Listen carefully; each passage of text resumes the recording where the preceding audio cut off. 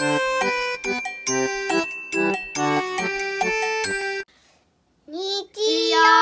教室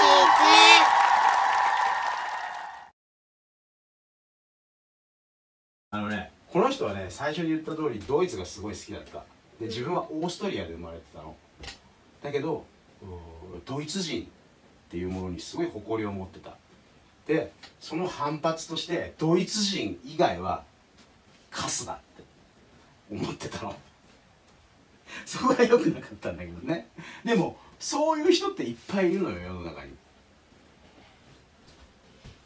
でもこの人はえーっとねフランスとかがすごいいじめたわけ。1800兆円払えっていうわけよ。戦争に負けたから。無理だっつうの。負けた人にそんなこと言うのおかしくない？例えばさ。そしたらさアドルフにしたらさ「うるさい払うもんか」っていうの。あそうそうそうそうそうそういうことなんだよ。はるかとさ薫君が喧嘩してさはるかが勝ったとするじゃない？喧嘩して、そしたらさ勝った人はさ許してあげるべきだよね。ごめんなって。そうだねそうだろ？それがだよ。はるかが薫君と喧嘩して勝ちましたと。俺が勝ったからお前の持ってるスイッチよこせっていうことなんだよ。はるかが言うんだよおかしいだろそんなの。いらない。それをするわけよフランスとかが。ねでまあこれ戦争すんなっていう意味なんだとは思うけど。そしたら香りが「嫌だ!」そしたらさそう言われた方はどう思う？いやそんなのあげられるわけないじゃんって。じゃあもう一回喧嘩しようか。ってならない？なるって。とお父さんは思うんだよね。でみんなやっぱりドイツの人たちはそう思ってた。なんたってパンが4兆円になっちゃうんだからさちょっとしんどいじゃんでそこにそれはおかしいだろうってこの人は言ったわけよ。ドイツは誇り高い民族だと。ドイツ人は偉いんだと。ドイツ人が偉いっていうのは除いて。そうだね。ドイでツ人が偉いっていうのを除いて。でこの人はそういう偉くなったんだけどこの時にもあの国民のその心をつかむことをやったわけ。とにかくドイツはお金がその時なかった。で失業者の数が600万人もいたの600万人っていうとどれぐらいかっていうと君たちの通ってる小学校が700人なのね通ってるのがかうん知ってる。知ってる？大体700735人かな。で600万人とこれが8500個分なんでね。チーン。小学校8500個分の人が仕事ね。そう。これやばいんだよね。でヒトラーは、えー、とこの失業者なくしてやるって言ったわけ僕がなくしてあげますからっつって。安心してください皆さんドイツ。これからちゃんとねお金儲かるようになりますからっつって。でまあ何をしたかっていうとえっ、とねまずベルリンオリンピック。ベルリンベルリンベルリンオリンピック。ベルリンベルリンあとねえっ、とね。ベルリンアウトバーン。あアウトバーン聞いたことある？これはねドイツにあるね高速道路なんだよねでなんと制限速度がない。えマジで？1000キロ出してもいい。日本の高速道路はねせいぜい80キロ。本当は。100キロとか出したら本当はいけない、そうだよ。うん、でもアウトバーンは制限速度がない。これを作ったまず。1億キロ。そうすると工事しなきゃいけないから工事のために仕事があるじゃん。みんな働かなきゃいけないから仕事ができるよね。であともう一個はアウトバーン高速道路を作るのと同時に車を作った。車の生産台数を5倍にします。でこの作った車は何だろうこの時作った車。すごい知ってるやつ。そう。この時作った車がフォルクスワーゲンです。フォルクスドイツ語で国民ワーゲンそう、はい。ワーゲン。ドイツ語で車。つまり国民車っていうことだね。こういうビートルっていう車知らない？こういう車。ひでえだなこれ。こういう車。こういう車なんだよカブトムシみたいな車でビートルっていう。えうちにあるよミニカーって見せてあげる。ああれね黄色いや綺麗そうそうそう綺麗ですこんなのあるだろ。これフォルクスワーゲンこれを作った。こんなのにだからねナチス嫌いでしょ？みんな。うち何乗ってんの今？うちの車何？フォルクスワーゲンでね。この人が作ったんだから。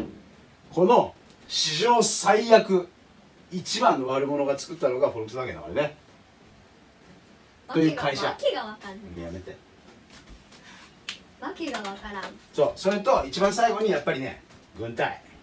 軍軍隊。軍隊。海軍隊を作った。本当は戦争に負けた時このベルサイユ条約で賠償金すごい額の賠償金と軍隊をもう作んなと。全部なしとは言わないけどすげえちょっと。しか作っちゃいけませんって言われたの。でも無視したこいつ。で国連っていうのがあったのね。その時国際連盟っていう組織ができててこれ何かというとこれ初めてだったから世界中が戦うっていう第一次世界大戦まあ第一次だしね。でやばいねこれってなって。このままだとあの戦争ばっかになっちゃうじゃん。世の中。よくないよねって言って国際連盟っていうのができたのね。国連っていうんだけど。でこれに集まってみんなで戦争になる前にいろいろ話して解決しようよっていうえー組織ができたの。国際連盟。でここにドイツも入ってた。入れてもらったやっと。戦争終わったすぐは入れなかったんだけど。戦争終わったすぐの時は勝った人たちだけでやったんだけどドイツ入ってた。後から入れてもらった。でヒトラーは国の一番偉い人になったから国連に行って訴えた。みんなね軍隊持ってるよねってどの国も。どうしてね僕たちの国だけね僕の国だけ軍隊作っちゃダメとかお前らに言われなきゃいけないのって。でヒトラーは僕たちもみんなと同じように軍隊を持つ権利を認めてくださいって何回も国連に言った。でも第一次世界大戦を起こしたのはドイツだったからいやドイツ軍はちょっと嫌かなっつってみんなが。な全然賛成してくれなかったの。だからヒトラー君はここでどうしたかっていうとよし分かった。じゃあもうやめるわ俺。また。また始まった。もう国連やめますっつってドイツは国連脱退した。でどうすどういうことかっていうともう言うこと聞かなくてよくなった。国連で軍隊ねちょっといっぱい持っちゃダメだよって言われてたんだけど。入んなかったらいいよそうもうやめちゃったっつって。だからでドイツやめちゃったこれ大変なことしてるよねこの人ね。でもそのドイツより先に国連をやめた国がある。アメリカ？違う。日本？そうです。無茶するわ日本語でこの人はやめた。国連やめて。で軍隊作って軍隊にバンバンバンバン国民入れてそしたら軍隊が仕事になるから。だからベルリンオリンピックやってアウトバーン作ってフォルクスワーゲンめちゃくちゃ作ってめちゃくちゃ売っていい車だったんだよフォルクスワーゲン。めちゃめちゃ売れたんだよ。でいっぱい作って売ってで軍隊もいっぱい作って。でやり始めた。こっからだねナチスドイツがやばくなってくるの。ちょっとやめて。こっからナチスドイツはやばくなってくる。どんどんどんどん軍隊増える？そう軍隊増やしていく。いうことをする。でまず時ここドイツの周りみんな敵だった。イタリアは彼女の味方だけどとにかくフランス敵ポーランド敵だった。でこれはなかなかドイツまだね軍隊増やし始めたばっかりじゃあんまり強くなかった。だからヒトラーはまずポーランドにあの不可侵条約って言ってあのもうポーランドに攻めたりしないですよって。やめましょうねっつって。お互いに。ポーランドさんも僕の方攻めてこないでくださいねっつって。で平和になりますよねっつって。でそういう条約を結んだ。でなんでポーランドとしたかっていうとここにねちっちゃく書いたんだけどダンツヒっていうここドイツになってるねここ。ここドイツになってるじゃん。でここもドイツになってるでしょ。ここはポーランドなんだよね。わけわかんないね。なんでこんなになったかっていうと第一次世界大戦で負けた時にえっ、とポーランドがもらったの？そうここポーランドねっつって。ポーランドの人だ。あれね海が欲しいのね皆さん。海がないから皆さん海が欲しいわけ貿易ができたりするからこうやって。魚も取れるし。でここポーランドなかったから海が。ポーランドねっつって。ここポーランドになっちゃった。そしたら2つに分かれちゃったんだよ。あそうここにはドイツ人しか住んでないわけ。ダンツヒっていうととば港町があるんだけどこれドイツ人しか住んでないわけよ。うん。ドイツ人しか住んでないってことはドイツですよねって話なんだけど、うん。帰れないわけポーランドになっちゃったからここの間が。だからドイツは取り戻したいわけここ。ダンツヒをでねポーランドの人はいつドイツがあの軍隊強くなったら攻めてくるか攻めてくるかってずっとビビってた。ポーランドは。だからそこに向かってヒトラーはいやとりあえずやめましょう。お互いね。もうやめましょう。つって不可侵条約っていうのを結んだ。でだからまあさっきちょっと順番前後したけどこの時あこの後にヒンデンブルク大統領が死んでヒトラーが総統になるで、えー、と国連辞めたもんだから1935年にヒトラーは再軍備宣言って言ってはいじゃあこれでもう国連も辞めたしあの僕たちは軍隊をいっぱい持ちます。って世界に向けて宣言する。確かなんで世界に向けて宣言するの？なんでだろうね。ビビらせるためだと思う。とにかくこの人ねビビビらすのが超うまいんだよね人を。でビビった。人がいた。この人たち。イギリスフランス超ビビった。でこの辺のちっちゃい国の人たちも超ビビった。えー、またですか？と。またドイツさんですか？と。でこの時ヨーロッパの人たちはどういう状況だったかというと第一次世界大戦がめっちゃくちゃ悲惨だったの。すっげえ人がいっぱい死んで初めての世界大戦で初めての戦車とかが導入されてめちゃくちゃ人が死にまくったの。今までの戦争はうわーってお互いにやってダンダンダンってやってあちょっとやられたじゃあもうちょっと、まま、負けでいいっすわっつって。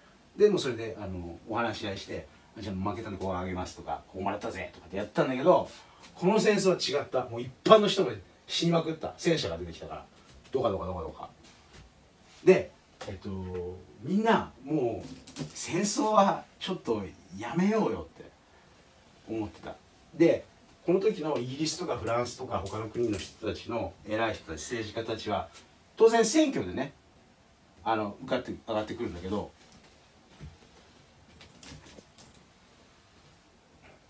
うわ。